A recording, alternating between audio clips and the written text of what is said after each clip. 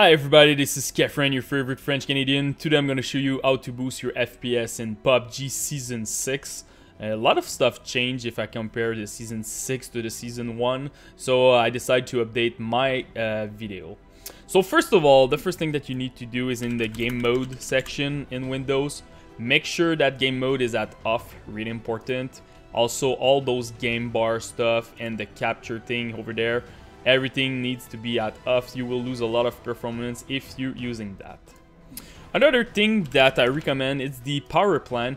The power plan will not necessarily help you if you have a desktop, so if you're using right now balance from Windows, you're all fine. It's more for people who are using uh, a laptop. Sometimes they have like some random um, plan from whatever, HP, Dell, Acer, whatever your the brand of your laptop, and they're not necessarily very good when you're playing a video game. Even if you're plugged in the wall, sometimes you don't get 100% of the resources of your laptop when you're playing the game. So click advanced power setting, make sure that you're using higher performance. This will help you a lot. So you're gonna make sure that your GPU is running at 100% and your CPU also, really important.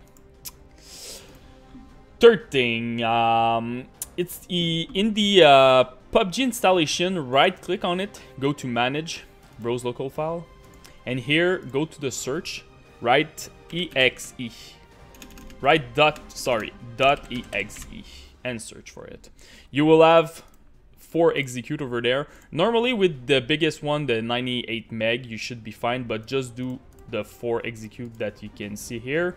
Click property, compatibility, make sure that disable full screen optimization is checked and in change uh, high DPI settings, make sure override IDPI DPI scaling behavior is check. Press OK, press OK. You can do the same thing for the other ones. One more thing is your driver. So if you're using NVIDIA, make sure that you update your driver with the whatever GeForce experience or just go in the website. Same thing with AMD, make sure you always use uh, the latest driver. Sometimes like PUBG is pushing an optimization and they're using like some whatever source code from NVIDIA in the driver. Uh, make sure that you always uh, keep your driver up to date. It will help you a lot.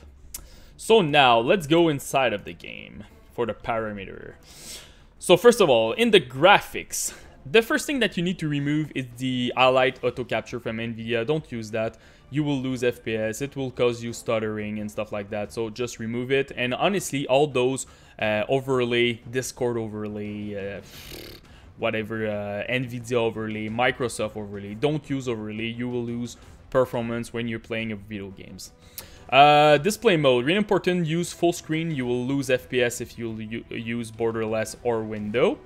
Uh, for resol resolution, I'm using 1080p, but it's more like depending on your screen. So whatever screen, if you're playing 2K, uh, 720p, whatever. After all the changes I will show you, if you still don't get your 60, you will probably need to lower your res resolution if you want more performance. Lobby FPS cap, I don't use it, so unlimited because I have a 144 Hz screen, so I just do unlimited over there. In-game FPS cap, I'm using a custom one. I'm using 144 uh, FPS to match my 144 Hz. Uh, I don't want to render more FPS because I don't want to uh, to um, like if you're if you want to for an example if you put this one at unlimited your uh, video card will always be in maximum. You will generate more heat in your computer so it's less good. And also maybe uh, i don't know uh, the, the because it's more uh, the heat is more spread in my case i will have less megahertz on my cpu because it will be other so just go with the number of hertz of your screen and match it after that, rendering uh, render scale. Use the 100, so 1 for 1. Don't upscale it, you will lose a lot of FPS. And don't go too crazy with the downscale because the image quality will suck. Uh, so honestly, uh, less than 90, it's pretty shitty. You will not see anything. So just go with 100. FOV, if you're playing more like at 103, uh, you will lose FPS because you're rendering more stuff in front of you. So me, I think the good compromise for this game is 90 for performance and also your FPS. Anti-aliasing, first of all, uh, put this one at very low. You will gain 2% for each bracket. I don't like the anti-aliasing anyway in this game. I feel the game is a bit blurry when I put this one at ultra. So very low is good. Yeah, you will see some line breaking and stuff, but it will not be blurry when you play. Post-processing, I'm putting this one at very low also, 2% for each bracket, so a nice increase over there. The biggest one is the shadow. The shadow, if you compare ultra versus very low, you can gain up to 15% in your FPS. So this one for sure go with very low. Texture I'm playing Ultra, it really depend on your VRAM on your GPU. So if you have more than 4 gig, go with Ultra. If you have 3 gig, go with high or medium. 2 gig low and less than 2 gig, go with very low. Effect.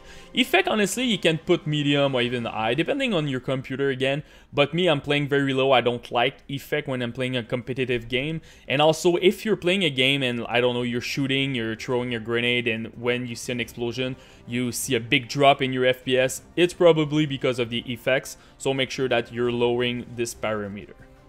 Foliage is very important, is a bit like Shadow. Uh, this one really important. If you compare Ultra to very low, you can gain like 12 to 14% in your FPS.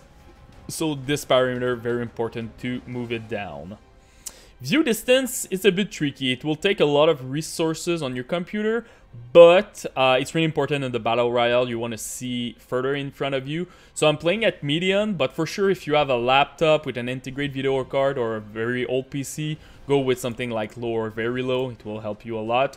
But if you have a better computer, go higher with that because it can help you to perform. It will help you with your game because you can spot people in front of you even further so really important. Sharpen vsync and motion blur you don't want to use that in this game so the last three put those one at disable. So that's about it guys. Just want to mention it doesn't change anything now if you change the engine.ini file so anyway they're pushing on server side and not using the local one so uh, yeah, don't touch that. Don't use those commands uh, when you want to launch the game with the launcher in Steam. It doesn't work anymore also, so you just can change your stuff here and make sure you optimize well your windows like I show you in uh, the beginning of the video. If you have any questions, just comment in the YouTube section, post me your rig, CPU, GPU, and RAM. I will try to help you the best that I can, and don't forget to subscribe to the channel. Peace!